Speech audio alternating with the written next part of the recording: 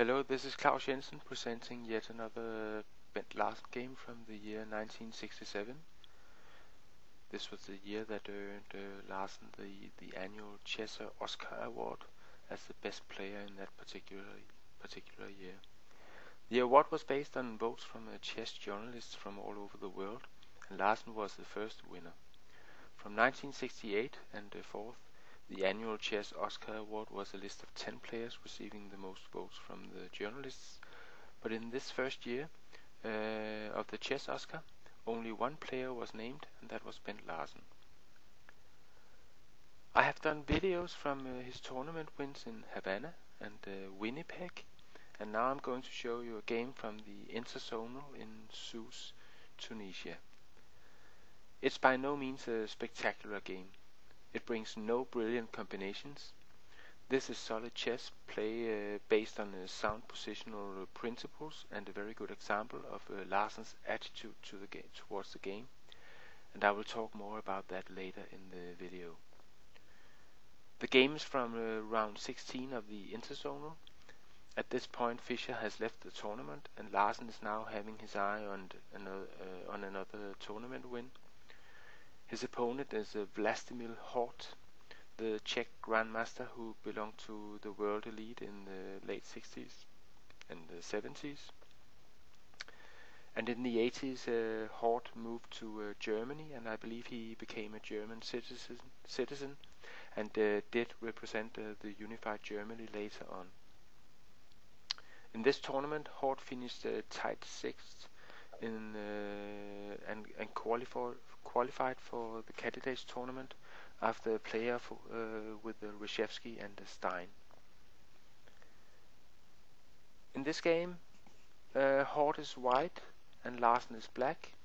And uh, as I said, it's uh, round 16 of the Interzonal in Sousse, 1967. And uh, I'll just play through through the opening moves. We are having a, a closed Sicilian. Um, both sides uh, fianchettoing their kingside uh, bishops, and uh, it's a somewhat uh, peaceful uh, opening play here, and um, and Larsen has come out of the the first opening phase without any problems, and uh, now uh, Hort plays a knight d5, and in in this tight position, which is rather closed, Larsen decides that the knight might be at least as uh, useful as a bishop. So he takes on d5 uh, immediately with the with the bishop.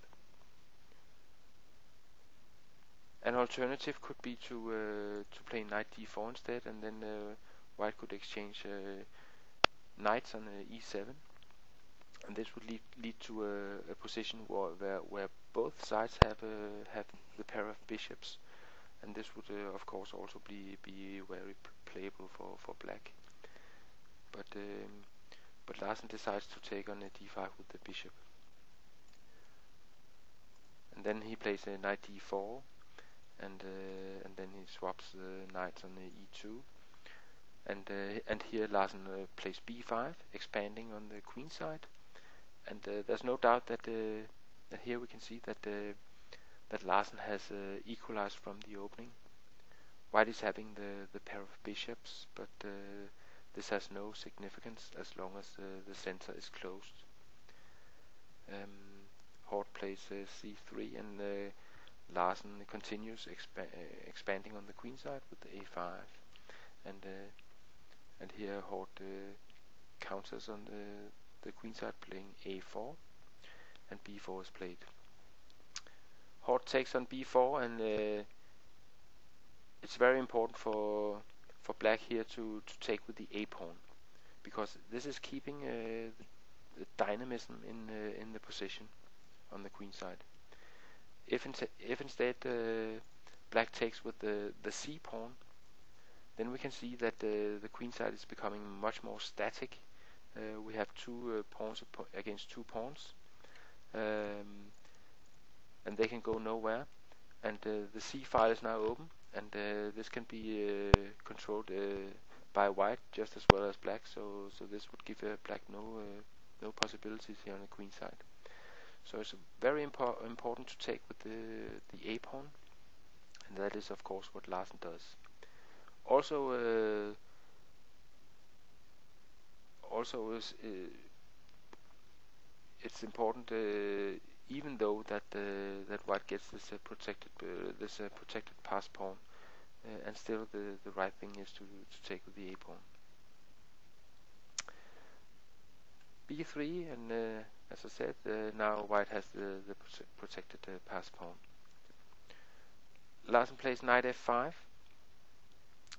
and I think he does so for, for several reasons. It, it could be heading for, for, for d4 and it could be uh, simply planning to, to swap off the uh, e3 three, uh, bishop because a plan for white could be to play queen d2 and then bishop h6 uh, and swap off uh, the g7 bishop. But this is not possible uh, when when Larsen plays knight f5 because now he covers the h6 square and uh, as uh, I said before, he can he can swap off the the bishop on e3. Hort plays a rook a e1, h5 follows, and then Hort plays a bishop a3. And I think this is a reasonable move because uh, there's no doubt that the this bishop is a is a weak bishop uh, because uh, of uh, the d5 pawn here, which is uh, is blocked effectively. Um, this bishop has uh, no scope uh, on uh, g2 and even on f1 it is blocked by by the d3 pawn here. So the only square that is uh, is good for this bishop is uh, is h3, where it has uh, this diagonal to to work on. And at the same time, it almost forces Larsen to to swap on e3, and that is what he does. And then we reach this position and I think this position is uh, very interesting, and this is uh, actually the position that uh, that made me uh, choose uh, to make a video on this game, because um, first chess-wise, let's look at the the position. It's a it's an equal position with the opposite colored bishops, which are both uh, quite weak, as I spoke of just before here. this g7 bishop is blocked by the e5 pawn and uh, and this bishop is only uh, having a potential here on h3 because normally when you have a, a weak bishop you have to put it uh, in front of the pawn chain. But this is not very easily done for for either of those bishops. The imbalances uh, in the position lies uh, lie on the on the queen side where we have a dynamic imbalance. Uh, White is having the protected uh, pass pawn on a4, and uh, black is having some possibilities with the c and the b pawns, which could which could uh, create a pass pawn at some point uh, if uh, black is able to make a, a c4 push. So chess-wise, um, this is a, an equal position, but of course still with some possibilities. Um, and I think if you think of the situation that that Larsen was in at the, at this point, he had uh, he had played loads of tournament games all year, and uh, he was having uh, the black pieces in this game against an opponent who is uh, in the upper half of the tournament table. So I think that uh, I believe that many players would be satisfied with the draw here. Um, but Larsen was not like uh, other players. He uh, he had an uh, immaculate uh, fighting spirit and a strong desire to to win any position. And as a chess player, I think this was both his uh, strength and uh, his weakness. Um, his weakness because in in his desire to win any position, he sometimes overestimated his uh, his positions, and that that uh, surely uh, led to uh, to to defeats where he he might have uh, been able to get a draw. But in uh, many other cases, it it also led to to a win instead of a draw. And um, in this position, it's clear that Larsen, who has an eye on the, tournament win, he wants to win this game and if you want to win this game, there's only one move that's that really gives you any chance of uh, of uh, of getting this win, and that is uh, you have to prevent prevent uh, white from playing e4 because then that the center would be closed permanently. So you have to play e4 here. This is sacking a pawn, but uh, it's it's so it's so typical Larsen the, this move here. First of all, uh, it's positional sound. As I have the mark with the arrow here, just look at the g7 bishop. Just a few seconds ago, I uh, I was telling you that this uh, bishop was uh, weak, but now it's uh, it's uh, after the e4 push, then it has opened up the g7 bishop completely and make, making it very strong. And um, at the same time, the e4 push is uh, removing the the d3 uh, pawn, which make the makes the c4 push um, more possible uh, when when the time comes. So positionally, this is a very uh, sound uh, move. But I think psychologically it's also a very important move, move because it's telling your opponent that you're playing to win. It says don't expect an easy walk in the park.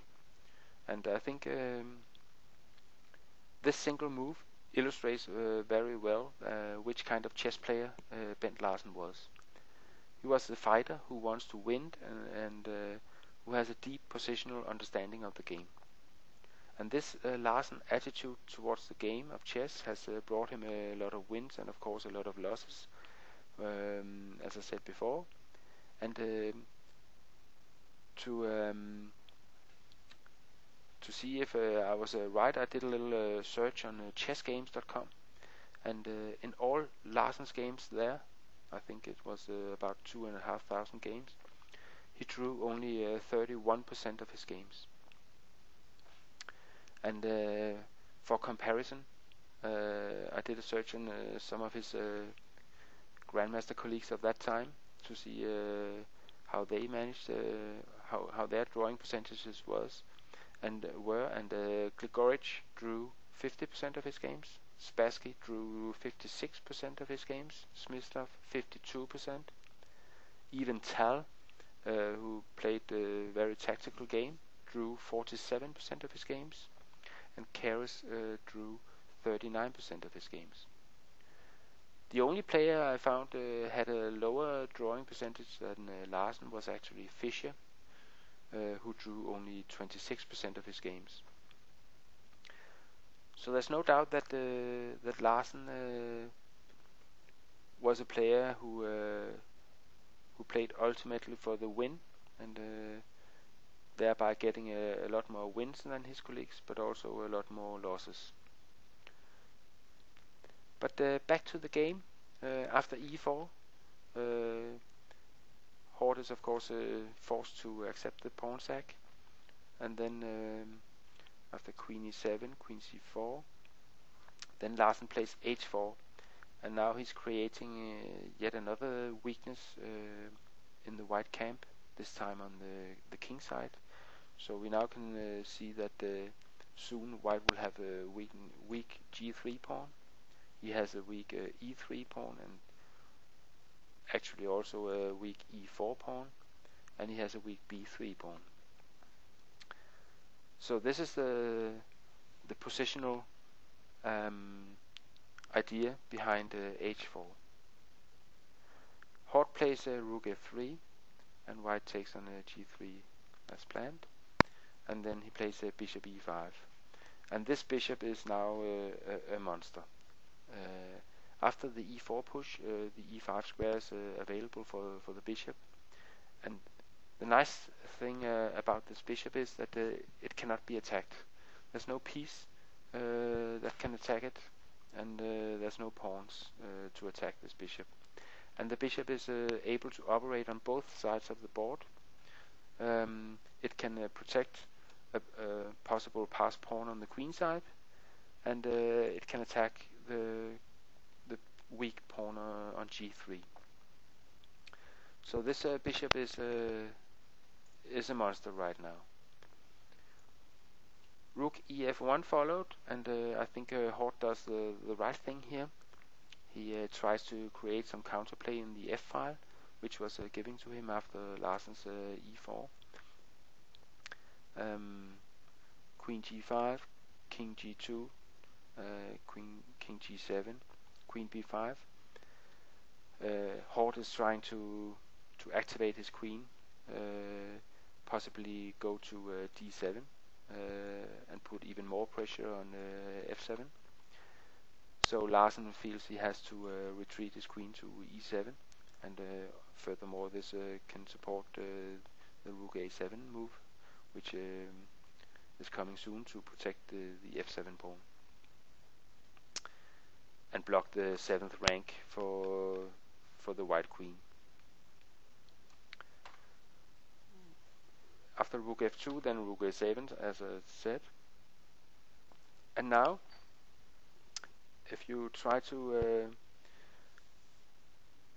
put you uh, yourself in the in seat of uh, white you can say that um, he might think that uh, he he has the upper hand now. Because uh, he has nice pressure in the f file and his uh, otherwise bad light light squared bishop is uh, is nicely placed on the h3. He's a pawn up, and he has a protected pass pawn on the on the on a4, and he has a, a relatively active queen on on the queen side. So Hort maybe uh, may have been uh, thinking that uh, that he can play for a win now, and what he does is uh, is actually a, a mistake. Um, because he plays a5 now, which is a bit too optimistic because this a pawn is not uh, supported well enough to to be able to to advance it uh, for conversion, and and so the a5 pawn is a, is not a threat for black. It's uh, rather creating a, a weakness for for white himself. So now he not uh, he doesn't uh, have only he doesn't only have a weakness on g3 and uh, e3 and e4 and and b3. Now this pawn is actually also a, a weakness. Larsen uh, plays uh, queen b7 because uh, he knows that uh, the end game after after queen takes, rook takes, rook a2, uh, c4 is very promising for for black. You see that both rooks can can uh, support uh, a pass pawn on the queen side, and this bishop is, uh, is a good support as well. So this endgame is looking very promising for, for black. And of course Hort knew, knew that as well, so he played uh, queen c6 instead. And um, what he was hoping for here was that uh, Larsen would take on c6, because then d takes c4, then uh, then white is having clearly having some uh, counterplay because now his uh, h3 bishop can go to d7 and support the, the c6 pawn, and uh, and this will give uh, white some uh, some some counterplay. So Larsen wasn't interested in uh, in taking on c6. Instead, he played queen a6. he would like to exchange the queens, but but not of the on the cost of giving a white a pass pawn in the c file. And um, if uh, Hort had taken on a6, then again we have the same uh, story as before. Uh, very promising uh, endgame for for black, who is able to uh, to take on a5 and possibly also play uh, rook a3 and uh, attack the, the, weakness on b3. And can push the c4 pawn. So very good prospects for for black again. So instead of taking on a6, Hort tries a, a, little tactical shot here. He plays a bishop e6 because um, the idea here is, of course, uh, that um, he wants to put even more pressure on f7. And uh, of course, black cannot take here because then uh, the rook on f8 is hanging. Um, So uh, so Larsen simply takes on a5. This pawn that uh, was pushed just a few moves ago has now uh, been lost for for white. Um, Hort now plays uh, king h3, which is uh, is not the best move, but uh, he's already in big trouble here in in this position. Larsen should uh, simply have played a rook ah uh, check here, and uh, then he can pick up the the bishop on e6 because now the rook on f8 is no, no longer pinned. It has been removed from the pin. But Larsen didn't play that. He played rook c7 instead, threatening the queen. And um, if uh, Hort had played uh, queen a4 here, then simply take on a4 and uh, the connected pass pawns will uh, decide the game for, for black. So instead Hort played uh, rook a2. But again, uh, this is taking away the pressure in the f file and now after rook takes c6 and white taking the queen on a5, rook c7, White has to uh, remove his uh, bishop on e6, which is now uh, threatened because there's no longer a pin in the f file. So he plays bishop g4, and now Larsen can play what he has been working for all game. He can play his c4 push. And it uh, it turns out that uh, the pass pawn that uh, Larsen gets in the b file is is uh, the key for Larsen to take advantage of all the other weaknesses he has uh, created in the white camp earlier on. Um, and we shall see how that uh, that materializes. Uh, b takes, rook b8 to support the b pawn, rook f1, b3, bishop e2, b2, rook b1. Now white has uh, blocked the b pawn, but then Larsen plays rook b3, and now he um, he eyes the e3 and g3 pawns, two of the other weaknesses in the, in the white camp. And after rook b5, he takes on e3, white takes the pawn on b2, and then he can play rook takes g3 check, and now we see that uh, this bishop on e5 is uh, certain, suddenly playing a, a, role on the king side as well as it was on the, the queen side. Um, and uh, Hort decides to play uh, queen h4 and um, and then Larsen plays the simple king h6 which is a threatening mate on g5 and uh, there's no way for Hort to stop this uh, threat so uh, so he resigns the game here. I hope you enjoy this uh, display of a simple chess played with uh, a lot of energy and a lot of uh, positional understanding. I think it's fascinating uh, how Larsen reaches uh, equalizing, equalization from the opening. He creates a few weaknesses in the white camp. He keeps uh, his dynamic chances on the queen side, and when the game is almost lead, uh, almost heading for a certain draw, he makes a positional pawn sack to keep some winning chances. And when his uh, opponent makes the mistake, uh, then Larsen takes full advantage and scores another win. It's uh, I am I really think this is a fascinating fascinating uh, display of of simple chess. I hope you enjoyed this game. I hope to see you on my blog at uh. Bye bye for now.